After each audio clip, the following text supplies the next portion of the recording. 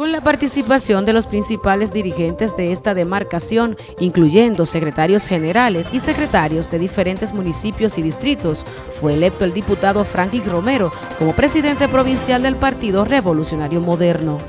En conquistar la presidencia provincial del partido, la medité con mucha antelación, siendo mis simpatizantes, mis seguidores, los dirigentes, quienes en realidad han inspirado a que yo asuma este compromiso bajo los estatutos del partido para que su servidor acepte la misma en procura de un orden, organización, parcialidad, renovación y modernismo. Romero saludó la unidad de esa organización política.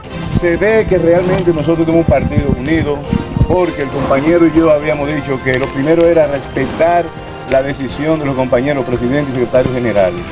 Y se había hablado de llegar a un acuerdo y los dos estuvimos de acuerdo en que teníamos que dar la oportunidad a cada uno de ustedes para que ustedes eligieran. La votación fue muy reñida, 18-17, quiere decir que aquí no hay ganadores, aquí no hay perdedores, aquí ganó el partido.